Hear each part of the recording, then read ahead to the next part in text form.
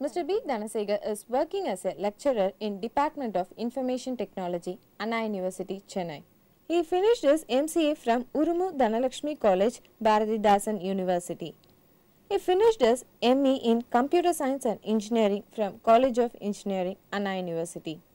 His areas of interest are multi-core programming and architecture, programming models, compiler, automata theory, cryptography and algorithms. He is an expertise in subjects like compiler design, formal languages and automata theory, analysis of algorithms.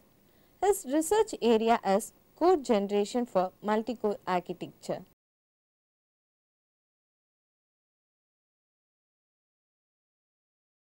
Welcome to the UGC lecture series on computer science.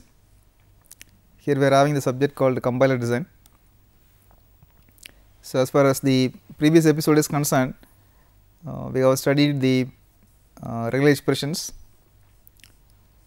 and then uh, that is uh, we have seen the finite automaton. There are two types of finite automaton, one is the deterministic version and another one is the non-deterministic version and they are actually used for uh, uh, designing the lexical analyzers. So, we have seen that there is uh, there are equivalences among the deterministic finite automaton and the non-deterministic finite automaton. When you are given a non-deterministic finite automaton, it could be transformed into a deterministic version by using the subset construction algorithm. We have seen one example also how the NFA was converted into its equivalent deterministic version. So, with that actually the uh, the lexical analyzer component is over and now we are having the syntax analyzer. Uh, that is going to be the second phase of the uh, compilation. So, normally the uh, syntax analyzer and uh, lexical analyzer are working as coroutines. So, whenever there is a need for a token by the uh, that is a parser, it will talk to the lexical analyzer and it will return the the lexical analyzer in turn will return the token by reading the input from the source program. So, that is what normally happening. So, what is happening as far as the syntax analyzer is, it will just combine the tokens in the order in which they are received from the source program that is from the lexical analyzer and will check whether the pattern is going to be uh, the one accepted by the source language specification or not. If they are accepted by the source language specification, then your parser will construct a parse tree whose definition is yet to seen. So, the parse tree is if it is produces the output, then we claim that the syntax of the source program is same as the specification of the language and if the parse tree construction fails, then it will produce a no output saying that the program has some error. So, that is what the job being done by the syntax analyzer or otherwise we call it as the parser of the compilation process. So, the definition for parser is the parsers are actually designed for some grammar. So, the grammar actually there it is going to be the tool used for describing the syntax of the source program. I mean the syntactic constructs of the source program. It can be either expression or a statement or a function or the entire program itself. So, the parsers are constructed only for uh, the grammar which may be a simple one or a complex one depending upon the type of constructs being generated. And once the parser has been constructed for a grammar, then the parser is expected to recognize the set of all strings which will be considered as the language of the grammar. So, for every grammar there is a language that is nothing but the set of all strings recognized from the starting symbol of the grammar and all those strings must be recognized by the parser. So, every string available in the language of the grammar if it is given as input for the parser then it will be converted into its equivalent parse tree. The construction of the parse tree will succeed because the string is already there in the language and for example, if I am giving a string which is not there in the language of the grammar then the construction of the parse tree will definitely fail because it is not going to be accepted by the parser. So, the output that is your definition says a string w is taken as input and produces a parse tree for the string w provided w is a sentence of the grammar g or it will give you an error message indicating that w is not a sentence of g and the grammars are actually used for specifying the syntax of the programming language constructs including expressions, declarations, statements etc. So, when you look at the role of the parser, so the parser lies here. So, the two different that is adjacent components are as a predecessor we are having the lexicalizer which is always preceding the parser and the output of the parser will be given as input for the intermediate code generation which will generate the intermediate code from the source program and you can see that there is going to be a link in between your lexicalizer and the parser which is on bidirectional. Whenever a parser needs a token it will request the lexical analyzer with the message called get next token. On successful generation of a token by the lexical analyzer it will give a token as input for the parser and on completion of the parsing process we will be having a parse tree and the parse tree will be given as input for the rest of the phases available in the uh, is compilation steps which is actually followed by a semantic analyzer uh, then followed by intermediate code generation and uh, optimization as well as code generation. But when you are looking at this diagram we find another component that is called a symbol table. So, we will be having entries for every symbol that is every that is identifier into the symbol table. So, that it will be referred by the parser as well as the remaining phase of the compilation. So, we have this link from lexical analyzer to symbol table, we have link from parser to symbol table. And then we are having link from even the remaining phases to the symbol table. And all these links are seems to be that is the bidirectional. It is because of the lexical analyzer writes and verifies parser writes and verifies. Similarly the intermediate code generator semantic analyzer they all will and that is have access for the symbol table so for example suppose if you have an expression called a plus b and the semantic analyzer which is just following the parser has to check whether a and b are compatible for the arithmetic plus or not. So, if you find both a and b are pointers then only the semantic analyzer will detect that two pointers cannot be added. But how does the semantic analyzer find a and b are pointers? So, it will talk to the symbol table or it will interact with the symbol table to know what is the type of a and what is the type of b. So, once it knows that both a and b are pointers, the semantic for the pointer says that two pointers cannot be added. So, it will report an error that is your semantic analysis will report an error rather than the parser reporting an error. So, that is the reason why we have a symbol table component and in addition with that normally we will be having an error recovery that is error routine the reporting component which is not uh, that is presented here. So, that will tell you about uh, the various errors being detected by the lexical analyzer the parser and by the remaining phase of the compilation. So, that is what the role of uh, the parser. So, now looking at the parser we have already seen that what is going to be the uh, the simple role of uh, the parser. So, it will parse the source program to find out whether there is any error in the source program as per the specification of the language. If there is no error, it will report or it will produce a parse output and if there is an error, it will say that parsing uh, is generation is not successful. So, that uh, the programmer will be forced to correct the error and uh, then the continuation of uh, the compilation will continue to produce the object code. So, now how the parse tree is constructed? Even though we say that the parser construct the parse tree, so how the parse tree constructed that differentiate how the parsing is done. There are two major classifications. one is going to be the bottom up parsing and another one is going to be the top down parsing. Actually what they say if the parse tree is constructed from top to bottom that is if you start with the root of the tree and if you continue to the leaf nodes available in the parse tree then it is called top down parsing.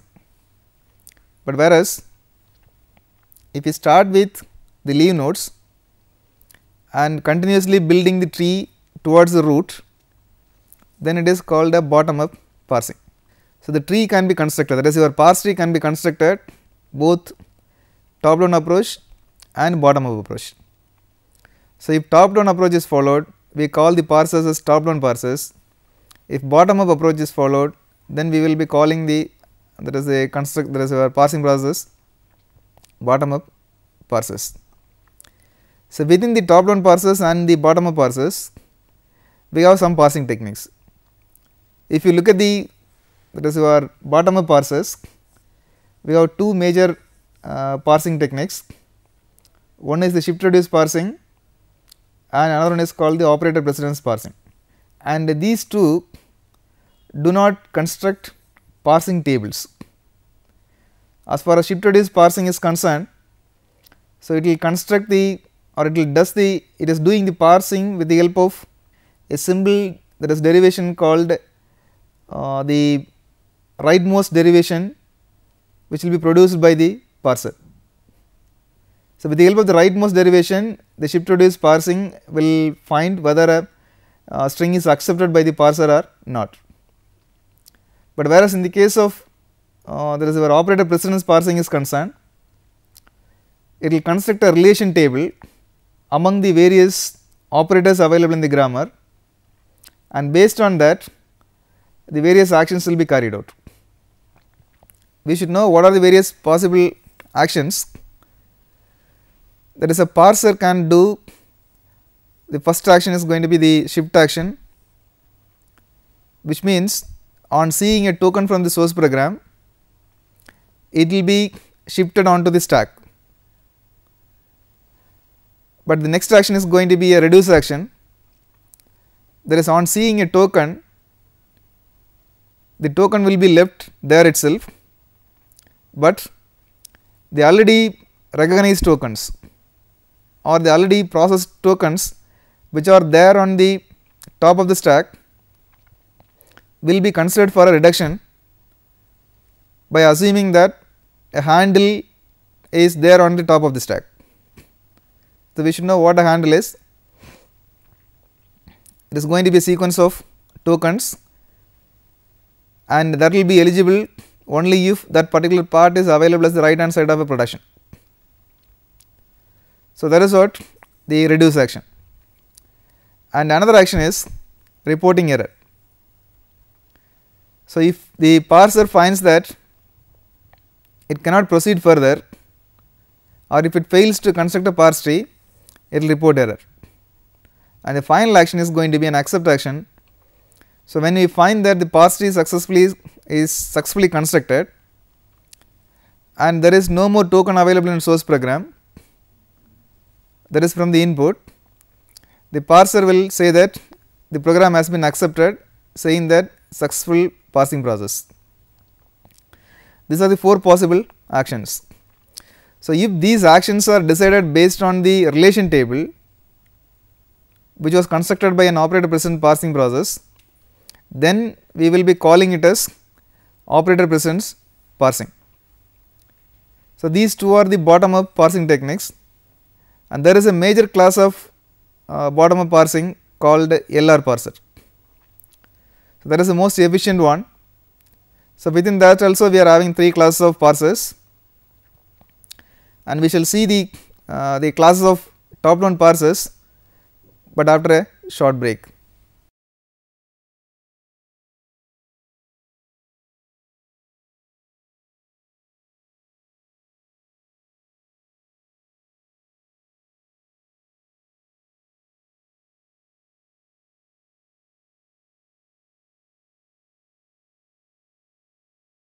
Welcome back.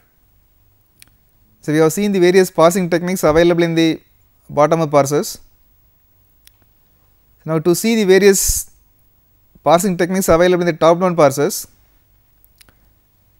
actually we are having two major parsers. One is called the recursive descent parser and another one is called the predictive parser. We know that the top down parser constructs the parse tree in a top down approach. It will start from the root and it will proceed towards the leaf nodes. On all branches, if you are able to reach the leaf nodes, then we can say that the parsing is over. But if that construction is done with the help of a collection of recursive procedures, then we will be calling them the parsing process as a recursive descent parsing. That is a recursive descent parser constructs the parse tree by expanding continuously recursive procedures. But there is a major drawback with this more the depth of the parse tree, more the depth of your recursion and more the depth of the recursion the stack which is being followed or used for handling the recursion will be uh, that is used. So, more the depth more entries onto the stack. So, at some stage we will find that the stack overflow kind of things then your compilation will abruptly stops. So, there is a reason or there is a problem we face with recursive descent parser. But whereas we have an equivalent parser which is doing the same job that is a construction of the parsing process, but with the help of a tabular version where the stack is managed by the compiler itself that is the that is a parser itself, but not by the uh, stack which is controlled by the program translation. So, here the complete entries are available in the tabular format we call it as a predictive parsing table and the various actions are also incorporated into the predictive parsing table. The actions I mean the shift reduce accept and error they all are propagated into the parsing table itself. So, from the parsing table we will be able to know uh, what kind of action is going to be suitable for the current context. So, this is what the major classification of the uh, that is parsers and we know that the parsers are making use of the grammars uh, for the construction of the parsing table or even for the parsing also. So, first you should know what is a context free grammar. So, it is going to be a system with 4 components one is the terminals, another one is the non terminals and the third one is going to be start symbol of the grammar and the fourth one is going to be productions. So, the terminals are actually the basic symbols from which the strings are formed. Here we should know what is the meaning what we mean by string here. The parser is supposed to get the stream of tokens. The tokens are actually formed with the help of symbols. For example, you can take a keyword called else. It has 4 symbols E L S E. So, when you are talking about the terminal, the else becomes a terminal here and this will be considered as a single token. So, which cannot be further expanded. So, if, if you are going for a statement or an expression for example, a plus b, we have 3 terminals, the first terminal is a, the second one is plus and third one is b. So, these a plus b will be considered a string here. So, terminals are used for forming strings. So, whereas non terminals are used for describing the syntactic variables. So, if I say that an expression a plus b is there, it is being referred by a syntactic category called expression, we call it as otherwise called E. So, this E stands for an expression. So, this E is always called here as the non terminal. E by itself is not part of the program, but A plus B is part of the program, but E refers that expression A plus B that is why we call it as the syntactic variable. And there will be a specially designated non terminal which is called the start symbol and uh, the set of all strings denoted by start symbol is nothing but the language of the grammar. So, if you take all the strings recognized by the start symbol it will be considered as the language of the grammar and most important component of the grammar is the set of all productions. So, that will be telling you that is how the terminals and non terminals are related. For example, I said E is a non terminal, A plus B is going to be the string containing 3 terminals. So, now to relate this non terminal with the terminals, so we will need a rule. We know that an expression can be the expression plus another expression or an expression can be simply an identifier.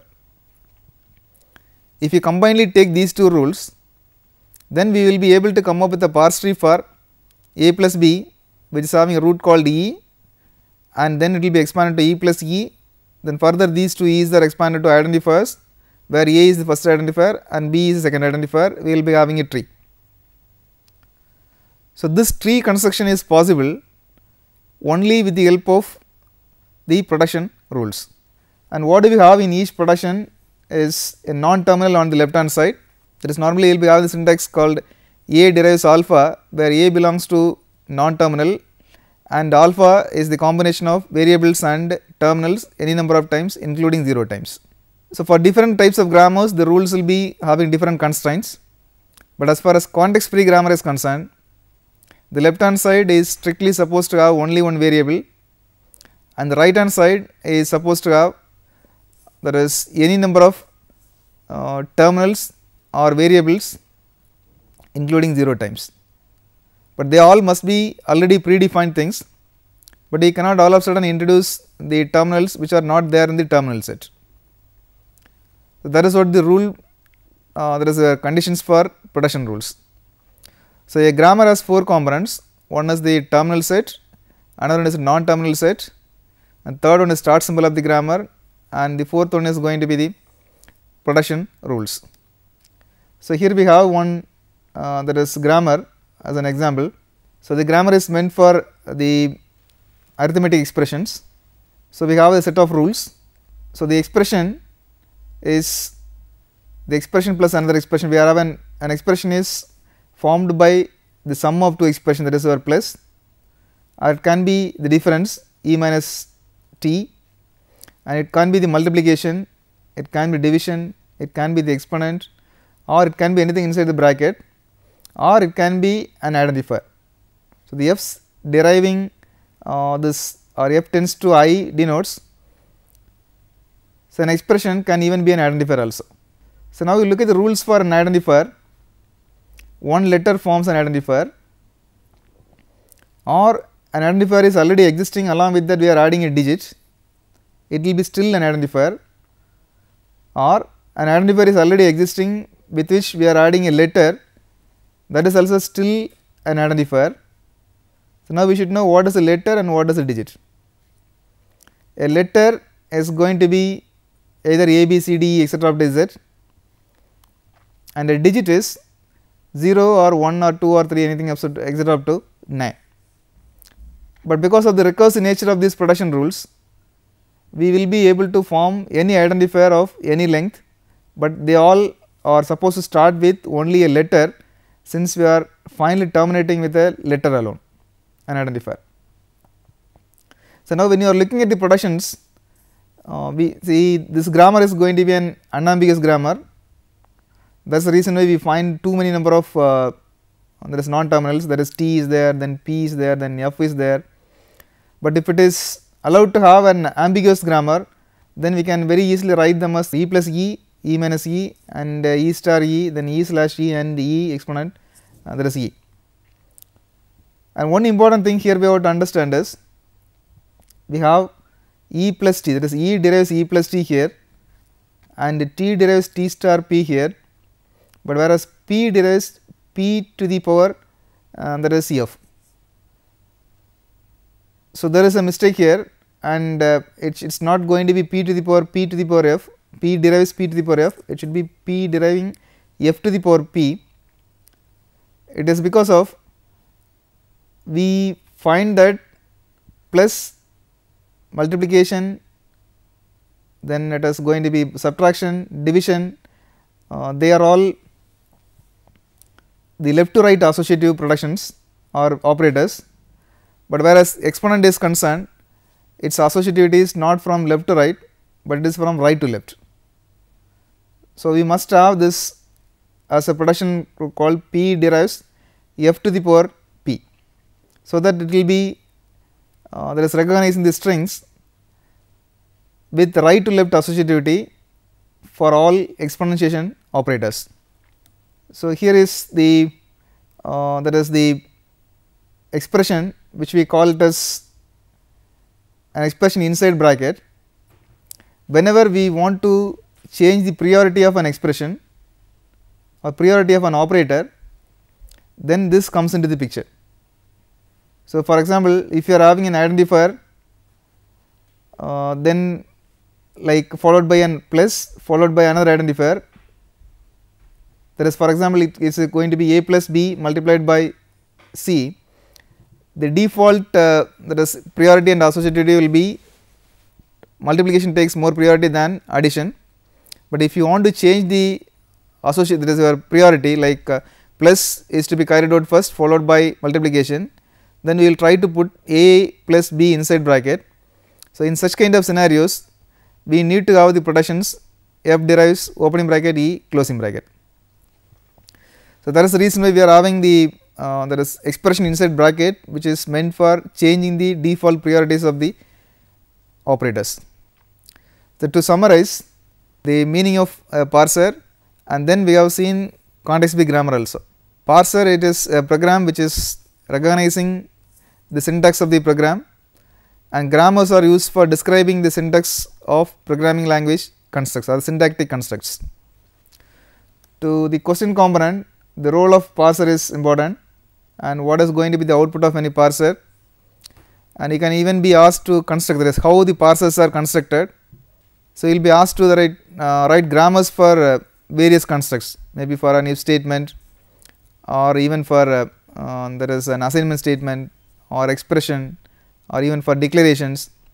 So, they are all coming into the programming language constructs. So, for every programming language construct it is possible to come up with a context free grammar so that we will be able to uh, that is generate the language or the set of all statements of that language. So, this is what about the various types of questions as far as this particular episode is concerned and with this I conclude this episode thank you all.